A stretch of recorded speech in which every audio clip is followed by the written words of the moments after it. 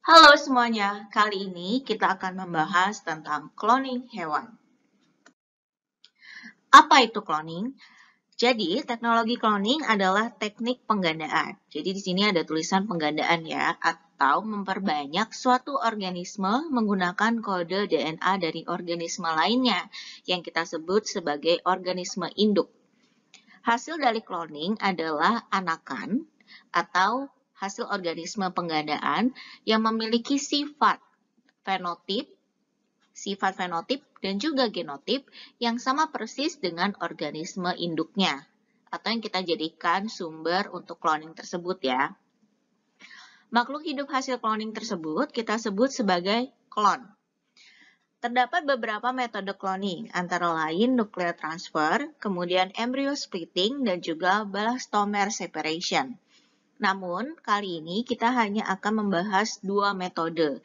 Yang pertama adalah nuclear transfer dan yang kedua adalah embryo splitting. Kita juga akan membahas tentang aplikasi dan juga pro dan kontra terkait dengan cloning hewan. Istilah cloning hewan sendiri sangat populer karena adanya penelitian domba doli. Domba doli adalah mamalia pertama yang berhasil dikloning atau domba doli sendiri merupakan klon pertama. Domba doli adalah hasil cloning dari sel somatik domba dewasa melalui metode nuclear transfer. Jadi setelah ini kita akan membahas secara detail metode nuclear transfer itu seperti apa.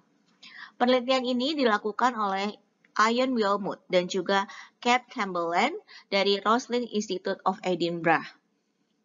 Beberapa hal yang diketahui melalui penelitian domba doli adalah satu, organisme klon akan memiliki usia materi genetik yang sama dengan DNA dari organisme donornya.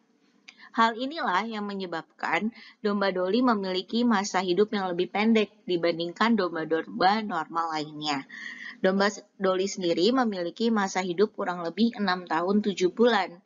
Ini lebih pendek dibandingkan domba lainnya yang dapat mencapai 11 hingga 12 tahun.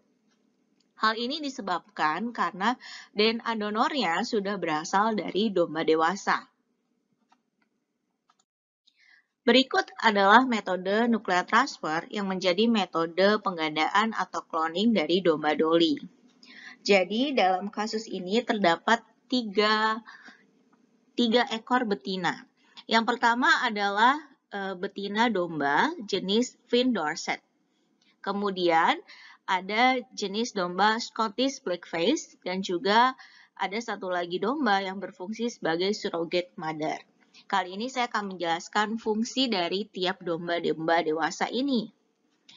Jadi yang pertama adalah ada domba yang kita sebut sebagai donor. Ini berasal dari uh, jenis domba Finn Dorset yang sudah dewasa. Dari domba ini, pertama akan diambil bagian dari kelenjar mamarinya. Dari kelenjar mamari inilah si sel akan ditumbuhkan. Ketika sel ditumbuhkan, maka yang akan diambil nantinya adalah inti sel. Mengapa inti sel? Karena di bagian inti sel inilah terdapat DNA atau materi genetiknya. Jadi kita ingat ya, kromosom itu kan dia itu adalah sebenarnya untai DNA yang berpilin ya, kemudian membentuk struktur yang kompak. Dan kromosom sendiri letaknya adalah di dalam inti sel atau nukleus. Sehingga dari domba Finn Dorset yang dewasa ini diambil nukleusnya.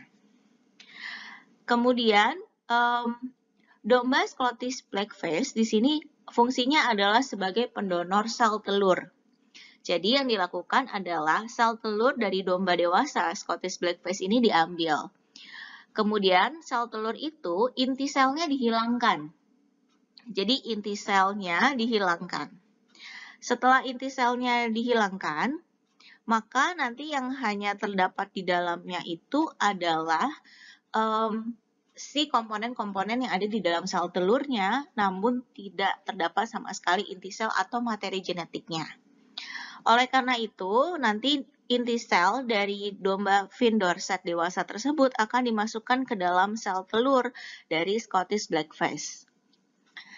Kemudian, um, sel telur ini akan berkembang nantinya menjadi embrio. Jadi sebenarnya proses ini pun sudah menyerupai proses uh, fertilisasi ya. Jadi ada ada materi genetiknya yang berasal dari adult fin dorset.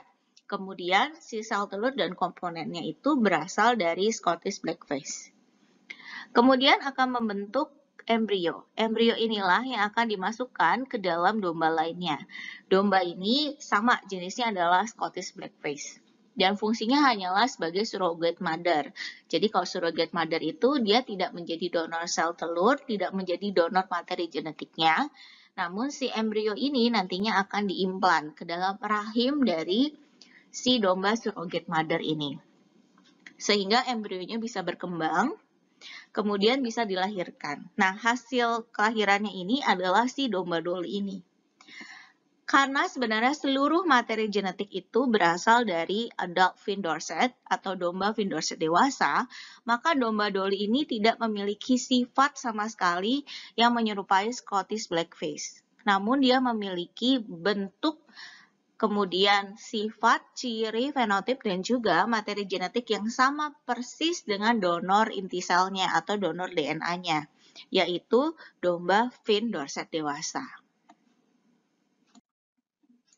Selain metode nuklear transfer, sebenarnya ada metode lain yang bisa kita gunakan untuk membentuk klon. Metodenya adalah embryo splitting. Hasil dari embryo splitting ini adalah kita bisa menghasilkan dua individu yang sama persis. Jadi, menghasilkan seperti individu kembar. Namun karena embrionya, kemudian materi genetik yang ada berasal sebenarnya hanya berasal dari satu embrio, maka hasil anakan kembar tersebut akan sama persis. Yang terjadi apa? Jadi ketika sudah mencapai tahapan embrio, embrio ini akan displitting atau dibagi menjadi dua. Kemudian embrio yang sudah terbagi menjadi dua ini akan ditransfer ke surrogate mother yang tidak ada relasinya sama sekali dengan um, pemberi kode DNA atau kode genetik. Ya, kemudian pregnansinya ini akan dimonitor dan akan dihasilkan dua anakan yang sama persis. Namun tentunya dia tidak akan sama seperti surrogate mother-nya, karena surrogate mother ini tidak memberikan materi genetik apa pun. Demikian untuk metode nuclear transfer dan juga metode embryo splitting. Kemudian pertanyaannya, apa sih aplikasi dari cloning hewan ini? Aplikasinya banyak. Yang pertama adalah tentunya untuk memultiplikasi livestock atau hewan ternak di sini. Mengapa harus dimultiplikasi? Karena sebenarnya di dunia peternakan atau pertanian tentunya kita menginginkan adanya sifat unggul atau bibit unggul sehingga kita bisa memperbanyak bibit unggul dengan lebih cepat. Selain itu, ini juga menjadi metode alternatif inseminasi buatan. Karena pada beberapa jenis hewan ternak, insemi inseminasi buatan ini tingkat keberhasilannya cukup rendah. Jadi dengan melakukan cloning, diharapkan kita bisa mendapatkan livestock atau hewan ternak yang memiliki sifat unggul. Kemudian, ini bisa juga berlaku untuk evaluasi dan seleksi fenotip dari hasil breeding. Metode lainnya adalah tentunya untuk konservasi hewan, terutama untuk hewan-hewan langka dan terancam punah. Jadi kita cukup mengambil materi genetik dari hewan-hewan punah tersebut, kemudian akan kita simpan dalam suhu dingin atau yang kita sebut sebagai cryobanking. Aplikasi lainnya adalah aplikasi transgenik, yaitu memodifikasi materi genetik pada sel hewan untuk memproduksi produk gen. Misalnya, vaksin, antibodi, dan lain sebagainya. Dan tentunya yang terakhir adalah bagian dari biomedik, yaitu untuk human cell-based therapy. Contohnya saja sebagai produksi antibodi atau juga ada istilah xenotransplantation. Apa itu? Kita akan bahas di slide berikutnya. Ini yang dimaksud dengan xenotransplantation. Tentunya pro dan kontranya sungguh banyak. Namun pada xenotransplantation artinya kita menggunakan bagian dari sel babi untuk menjadi organ yang nantinya akan ditransplantasikan pada manusia. Secara etik, ada beberapa orang yang berkata bahwa bagaimana bagaimana dengan sel hewan yang dimasukkan ke dalam sel manusia. Namun di sisi lain ini juga untuk pengembangan metode stem cell. Jadi kita tidak harus menggunakan sumber stem cell-nya dari manusia, tapi kita bisa menggunakan dari babi. Hewan babi sendiri dipilih karena memiliki kesamaan genetik hingga 99% dengan genetik dari manusia. Sudah ada beberapa contoh xenotransplantation, namun sebagian besar memang masih dalam tahap penelitian. Misalnya saja, kita bisa menggunakan kulit babi untuk menggantikan kulit manusia yang mengalami kebakaran atau mengalami luka bakar yang sangat tinggi. Kemudian, pig kidney bisa digunakan untuk ginjal yang rusak pada manusia ataupun juga sebagai pengganti pankreas. Sejauh ini yang dilakukan adalah masih tahap penelitian, namun sudah ada beberapa penelitian yang melakukan xenotransplantasi pada manusia. Kalian bisa loh menemukan beritanya di uh, internet loh sekarang, jadi sudah banyak sekali berita tentang xenotransplantasi. Cloning hewan tentunya tidak akan lepas dari pro dan kontra.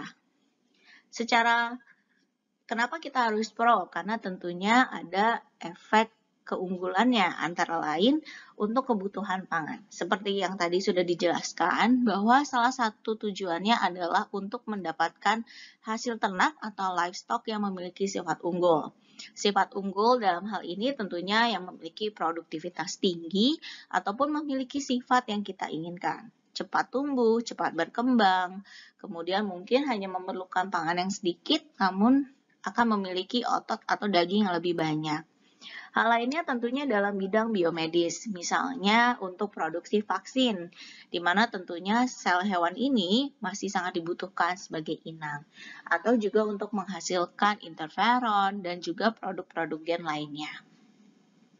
Namun, dari sisi kontranya, tentu saja untuk pelaksanaan cloning hewan ini, kita perlu mengikuti etika ilmiah. Jadi jangan sampai dengan adanya cloning hewan ini, kita sengaja um, kita sengaja misalnya ingin mengubah sifat dari bayi atau misalnya kita ingin uh, melakukan rekayasa yang nantinya bisa berbahaya untuk keberlangsungan manusia dan dunia ke depannya. Jadi sebenarnya untuk cloning hewan ini akan sangat menguntungkan selama kita bisa mengikuti etika dan kaidah ilmiah serta juga mempertimbangkan norma dan juga ajaran-ajaran agama. Demikian teman-teman untuk materi tentang cloning hewan. Sebagai referensi atau bahan, kami menggunakan buku Biology A Global Approach edisi ke-11 karangan Campbell dan kawan-kawan yang diterbitkan di tahun 2018 oleh penerbit Pearson. Kami juga menggunakan materi yang ada pada buku biologi untuk SMA dan MA kelas 12 karangan Inang Nintias yang diterbitkan di tahun 2018 oleh penerbit Erlangga. Terima kasih sudah menonton video ini. Semoga bermanfaat dan sampai jumpa di video-video berikutnya.